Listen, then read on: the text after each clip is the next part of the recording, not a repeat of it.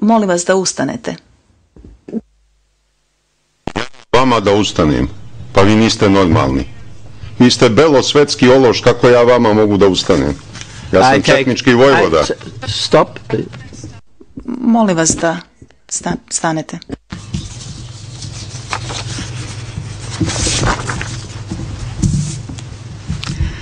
Having found you guilty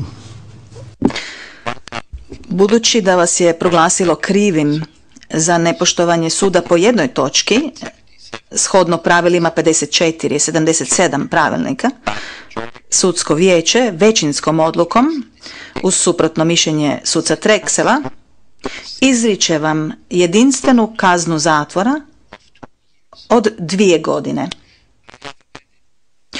Priložio sam svoje suprotno mišljenje o izrečenoj kazni. Ja bih bio skloni znatno blažoj kazni. Rasprava je završena.